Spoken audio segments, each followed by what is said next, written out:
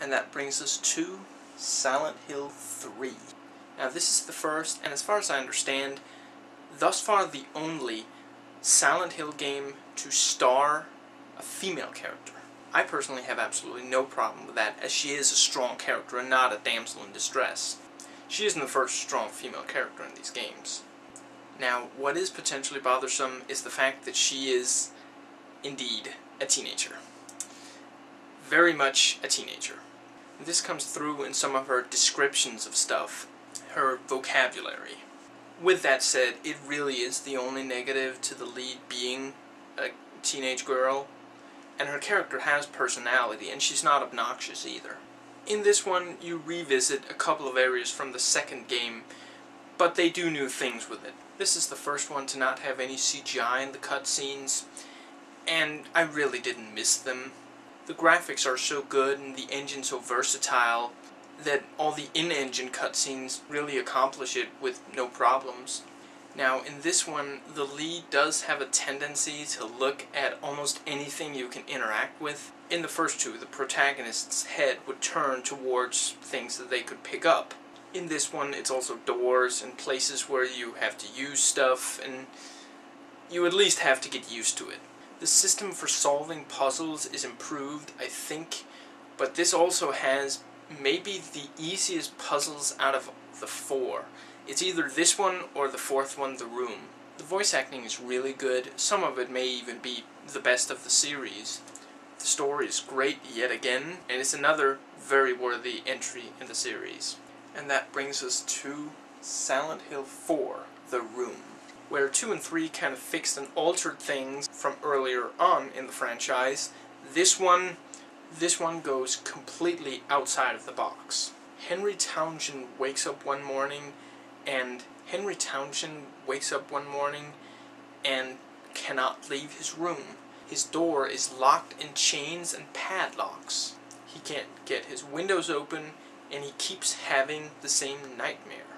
You playing as someone who's trapped in a room means that there's this certain voyeurism in the game and it's really, really effective. And the game does an excellent job of making you feel like you are trapped in a room. Now, this one being so different from the first three, and indeed most other games, I've never seen anything that I can completely compare to Silent Hill 4 The Room. Makes it a bit of an experiment, and unfortunately not an entirely successful one at that. There is still a really strong atmosphere, and the audio is still almost invariably excellent. This one does away with the radio and the breast pocket flashlight. That does mean that there aren't really any pitch black, gloomy areas to explore. This still has some really terrifying and creepy locations, but the enemies, I don't know, they don't feel quite as grotesque.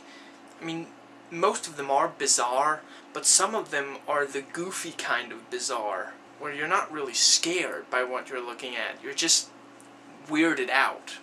In this one, you draw the map as you go along, and I think that's a really good way to do it.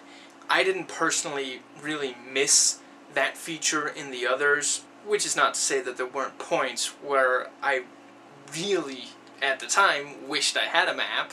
It does mean that I wouldn't have preferred to have had a map at those points. I'm glad that I didn't get to know exactly but it does work really well in this one with you drawing the map as you go along. And he still draws in when you can't go in a certain direction, although I'm not sure he really differentiates between locked and the lock is broken, so sometimes you'll be going back to a door that you'll never be able to open thinking, ah, but I've got a key now, maybe this is the door that I couldn't open before. I would maybe also say that the enemies in this are maybe more frustrating than challenging. They're just annoying, really, in this one. This one does away with the inventory, and I'm thrilled because that means that you don't have to pause the game and go into this menu and slowly cycle through all your items or all your weapons. You now do it in-game, you know, you can be cycling through them as you're walking.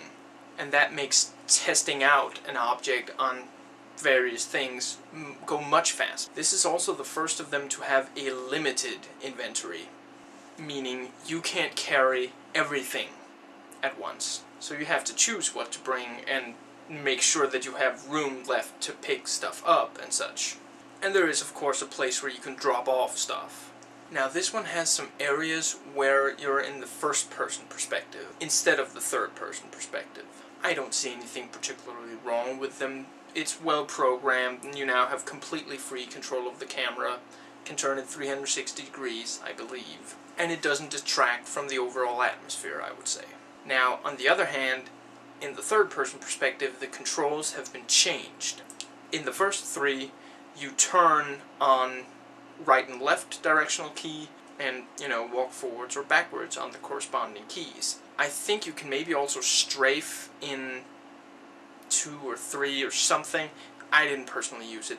I don't have a problem with having to turn the character like that. It may take a little getting used to, but once you're over that hump, you're fine. In this one, you basically move in the direction that the key you're pressing is pointing. That has been seen before. Hitman Blood Money does the same thing.